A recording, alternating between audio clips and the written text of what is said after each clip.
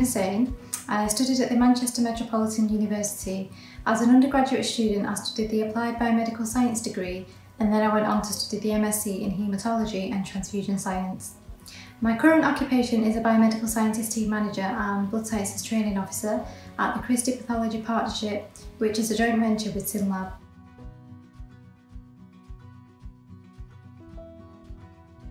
After I completed my undergraduate degree and worked as a biomedical scientist for a few years, I decided I wanted to specialise in haematology and transfusion.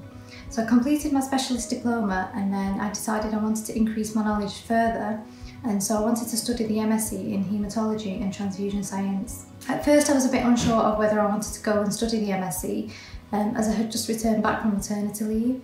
So I went to the university to meet up with a tutor and to ask and find out more about the course. After I came away from the meeting, I was 100% reassured that this was definitely the right course for me, as I had the support from the university as well as from my work.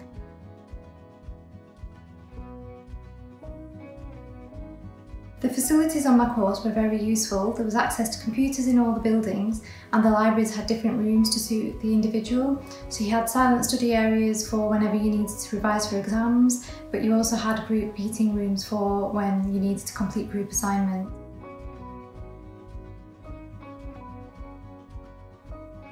Overall, I've had a great experience studying the MSc at ManMet and I've been able to apply my knowledge in the workplace and I've really enjoyed learning on the course while working.